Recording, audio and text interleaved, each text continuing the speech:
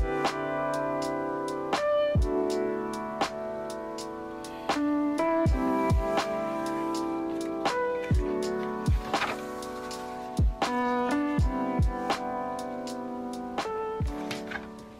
everyone, welcome back. So it is finally, finally Hobonichi Cousin setup time.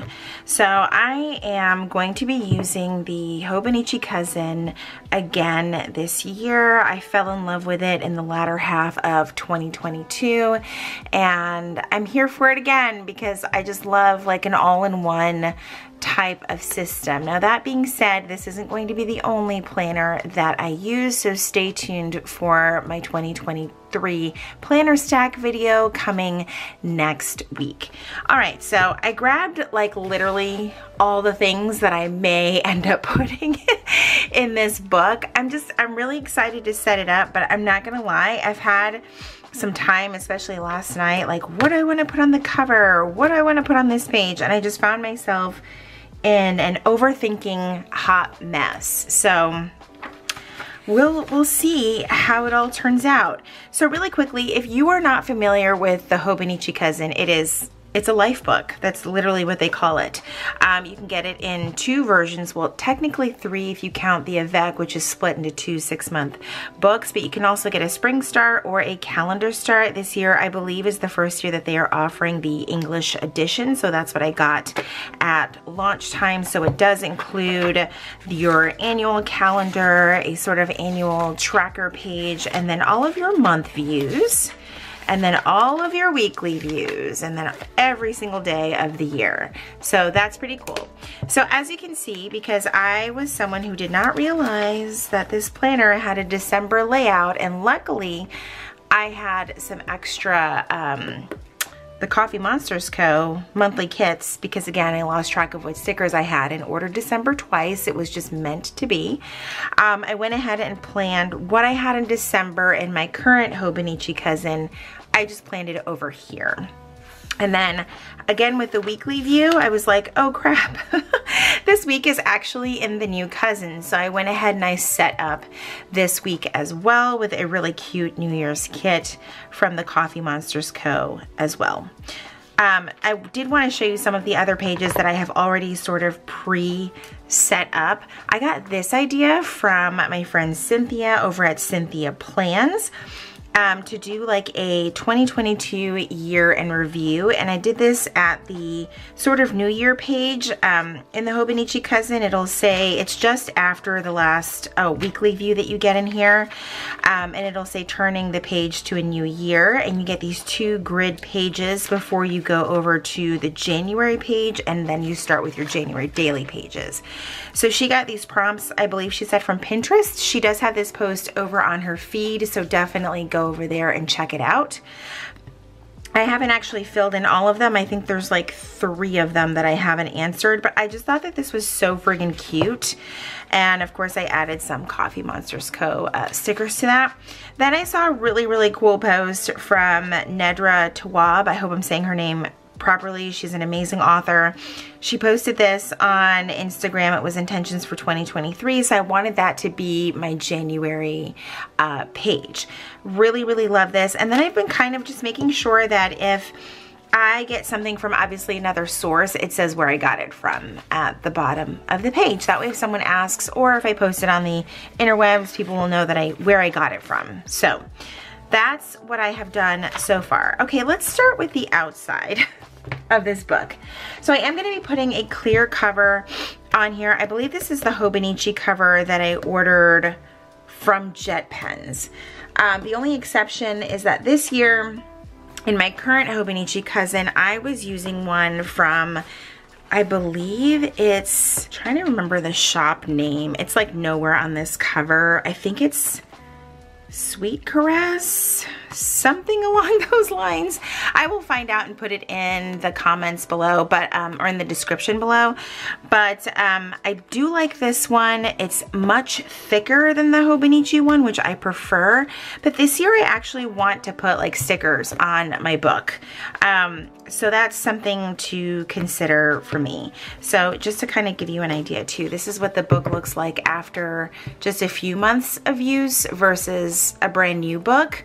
Um, I do love it. I love it so much and I can't wait to be in it for a full a full year because this book has truly like just it's given me a lot more freedom than I ever thought um, I was gonna get out of it. So here's my thoughts for the front.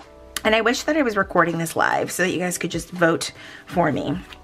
I really do want like a very neutral vibe. I think similar to what Helen um, from the Coffee Monsters Co. either did this current year or last year. I've watched so many of her videos that I'm just like, I don't know what video I last watched with this information, but you guys know I love coffee. I love tea. I love like neutral colors and I was thinking of putting these on the cover or just kind of going with something a little bit more, I don't know. I don't know how I feel about either. That's the problem. so this is where I'm kind of just pretty undecided with what I want to do here. I do know that for the tabs, and this is exactly why I have delayed posting this video, by the way. I have like so much decision fatigue over the setup of this um, cousin that I'm just like, I don't know what I'm doing. Um, but I did decide that I was going to use Coffee Monsters Co. tabs in my planner this year because I am obsessed with them and I think that they are so freaking cute. Okay, so now that I've had some time to think about it, I do think that this is the route I'm gonna go with these. This sticker, the Self Love Club, is from Planner Monkey Co. This one is just from a random shop on Etsy. I just kind of liked the entire vibe of it. I also like that this adds a little bit more color to the cover without going too overboard and it would still look okay with like a cover like this. For instance, this is from Aura Estelle, by the way. Her covers are amazing. So let's just go ahead and rip the band-aid off as I keep trying to delay um, putting anything on this planner that is even somewhat permanent.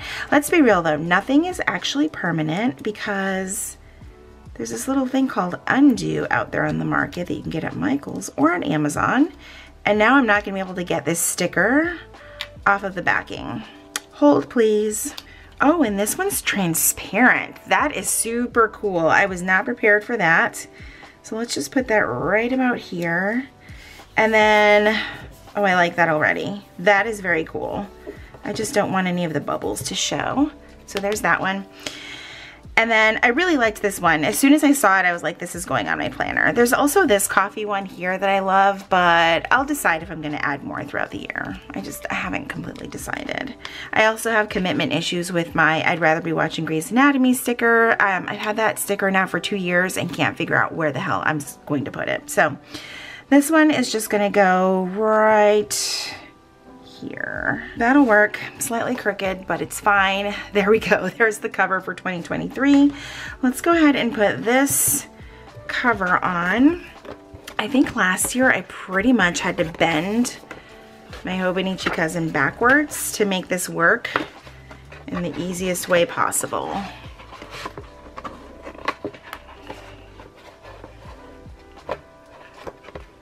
All right, there we go. Um, now you kind of gotta like bend it back and forth to get it to like get in the cover like the way that it should be. But now I feel like my book is nice and protected. I don't always keep my Hobonichi cousin in one of these covers. I just don't. There's moments where I'm like, I need this cover, and then there's others where like, this is getting on my nerves, and I just want it in a clear cover. So over here on this very first page, what I want to do is put my vision board. So this is kind of a shrunken down version of what's going to go in my MakseLife. I printed it on vellum um, for the sole purpose of mainly reducing bulk. And I did create this over on Canva. Um, in my MakseLife though, I actually cut everything up and separated it just because the book is a little bit bigger and the vision board page is two pages. So I'm just gonna use my Tombow um, adhesive. This is a removable adhesive, which I kind of prefer. Um, just in case, you know, if you have the inability to make a decision like I do, then removable or repositionable adhesive is the way to go. Oh, and I think some of my ink is smudging. I don't have a laser printer, which I think is what you're supposed to use when you are printing on vellum. So I have to wait extra time for mine to dry. And I'll be real, I printed this about an hour ago. And yeah, I think it needed more time to dry, but that's fine. And I'm trying to figure out, do I want it this way? Do I want it that way? Let's do this way. I don't know why that matters. And I probably could have changed the orientation of this so that it was the other way. But there we go. All right, vision board is in. We are making progress. oh my gosh. Okay, on to the next page. Now this is where I was thinking I could put some of these fun little guys because I do love them and I just think that this is going to be really fun to add to these pages. I also have this little like nameplate thing that came with a See Amy Draw um, order but I think I'm going to save those for something else because she also included this 2023 vinyl. Again, probably saving that for something else. So let me get these down and try not to have a stroke while trying to do it.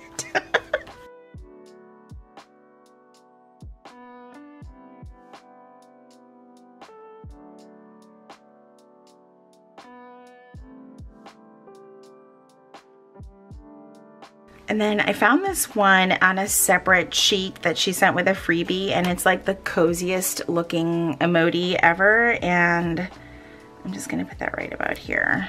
Okay, that page looks super chaotic, but I love it, I love it. All right, so my plan for this page, even though the 2022 is like absolutely not needed, um, is to probably track paydays and days off kind of thing. So I think what I'm gonna do is grab two of my dot markers. So I'm gonna grab the gray one and I will signify one for Jessie and one for myself. So I think what we'll do here is like the taupe one for me and then this one for Jesse. Um, and then I kind of wanted to draw out like different symbols like a vacation day, a sick day, that kind of thing. So that will be kind of like our, our work schedule. And then the pen that I'm going to be using, at least for today's video, is the Sarasa Mark-On in 0.5. And I'll go ahead and add those in um, later on after this video because I've got to look at my work calendar and then I've got to confirm um, Jessie's work calendar. And then I think for the holidays, I'll just kind of circle them because obviously 2023 is going to be the main focus. Um, and I'll just kind of circle and underline and use symbols like that to mark things. Now these are pages in the cousin that have always kind of overwhelmed me. Not a thousand percent sure what I'm gonna do with this. I talked about in my week's setup video possibly using these exact pages for health and wellness. I feel like if I do that now though, it would be better suited for the cousin because of the size of this space. So I think that's what I'm gonna do with these pages where um, as much as I don't like tracking my weight, weight is an important part of health for just for me personally, it's for a lot of my joint health, like things like that. Um, so I think what I may end up doing is putting like a starting weight situation here, um, workouts that I do here, and maybe because these columns are so wide, I could do workouts and my steps maybe, possibly, and then maybe any highlights across the bottom. So that is still like just a thought in progress. Obviously, my month view is going to be just that. It's going to be for the month at a glance. I love that it's a Monday start. Like, that just solves so many problems for me. I wish all planners would do a Monday start. And then, of course, you guys have already seen the weekly view that I've already done. Um, my weekly view is going to include some work things, but not all work things.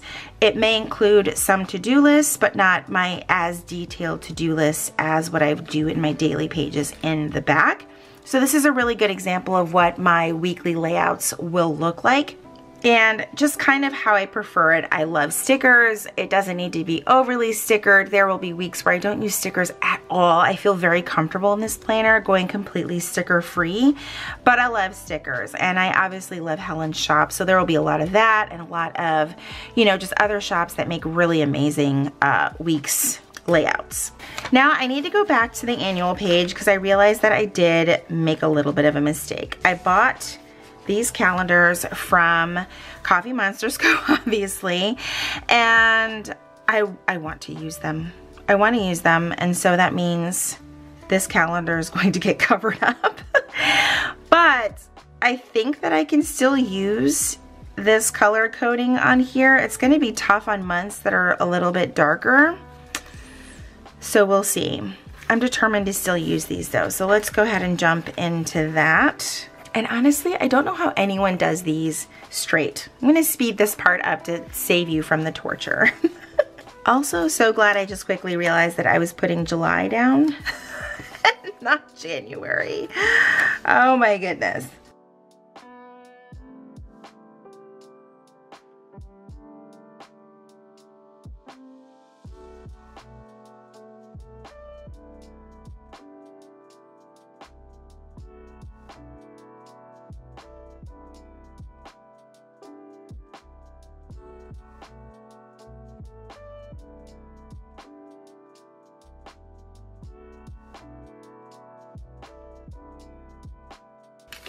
Okay, that's done and that's completely adorable.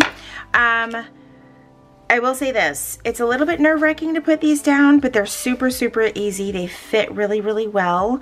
Um, again, now I'll have to figure out what I wanna do with this. I may end up just covering it and moving on with my life. Um, but that's totally okay because I really don't have any use for this. The next year part, mm, maybe, we'll see. All right, so let's move forward. I talked about how I'm gonna use the weekly and the daily. Next thing is really just putting on the tabs. So I did get, I think it was two different versions of tabs and what I think I want to do is use a couple of these but I want to use them in a way that's um, repositionable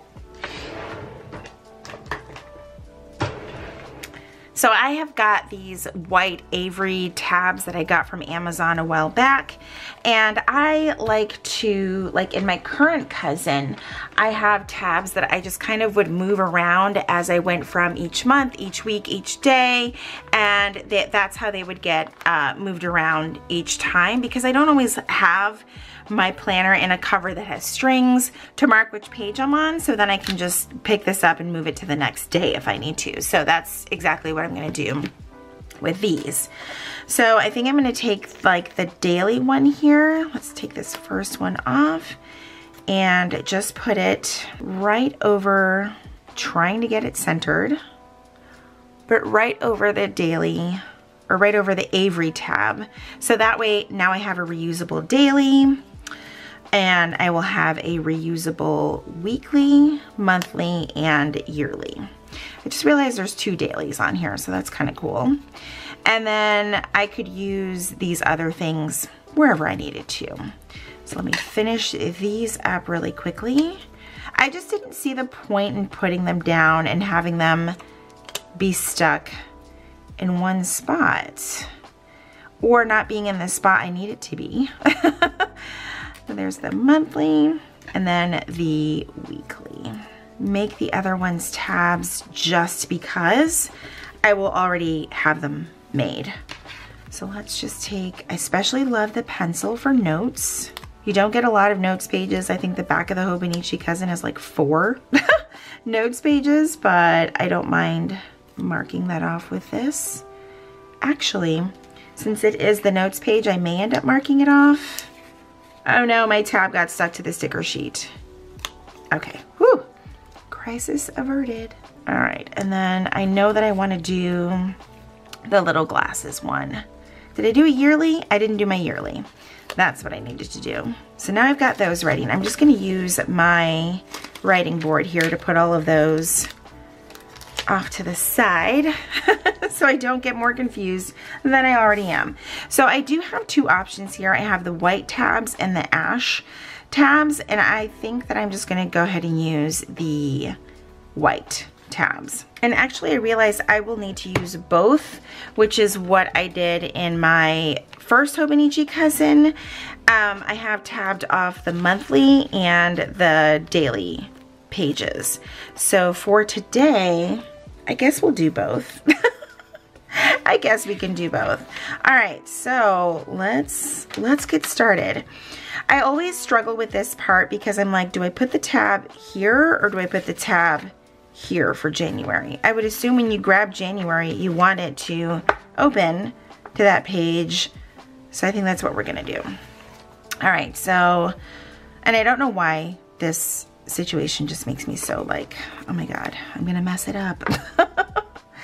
and I believe with Helen's tabs, the little shaded part tells you exactly where to put it. I figure if I don't put it in the right spot, I'm gonna know because it's going to look really, really bad. This is going to take me all day. all right, let's speed this up for you.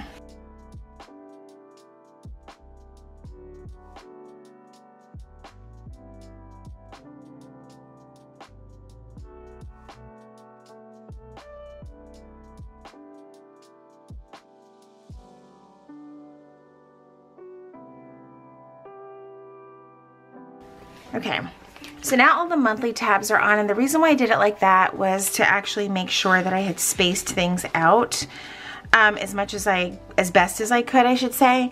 Um, I really would have preferred that it was evenly all the way down, but I would have to go back and remove these and start all over, and it's really just not worth it. And what I can do to make it appear even is when I do my weekly pages, um, I can kind of start from the bottom, if that makes sense. That way it doesn't look like there's anything missing from the bottom. So now I'm just gonna fold these over and she gives you like the most perfect perforation on her stickers so it is so easy I've used other tabs before and the perforation is like not the greatest and they don't fold over evenly it's just kind of a pain but the perforation on hers is cut to perfection um, which I absolutely love. So I can't say enough good things about how, how Helen does things. So, all right, we are almost done. This is like so much easier than I thought it was gonna be. Um, and I'm thankful for that. so there. All right, now I'm like, do I wanna do the weeks or do I wanna do just the months? Because that's going to be super easy. You really just have to go right along here for the months. So I think I might do that because that's a whole lot of tabs. Do I really want to do three sets of tabs? I don't. I don't think I do. So I think we'll do that. Let's go. And like I said, it's super easy because I, all I'm doing is putting it right, right where the, the mark already is on the, on the page, which makes life a lot easier.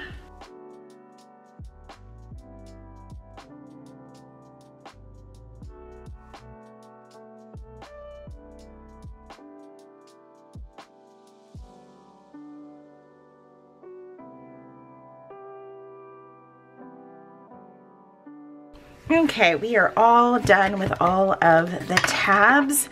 This is how that looks with just the monthly and the dailies done. So I'm actually quite pleased with that. I actually like it quite a bit. So what I'm gonna do is put my little tabs that I made up here and I'm just gonna mark off the yearly page so that I know exactly where it is. And then we will do the monthly and then do our weekly page which is somewhere in here.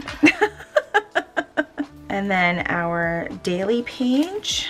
And then I'm just gonna mark where the notes page start at the back of this book. All four pages that you get. But I will more than likely use this for swatches and things like that back here. So that is how those top tabs will look and of course they will move um, as needed.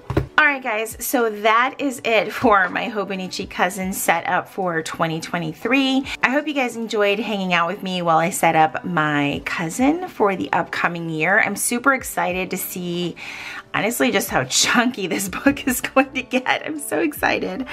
If you enjoyed today's video, please be sure to give it a thumbs up, subscribe if you haven't already, and if you are already subscribed, make sure you click that notification bell so that you know when my videos are posted here on YouTube.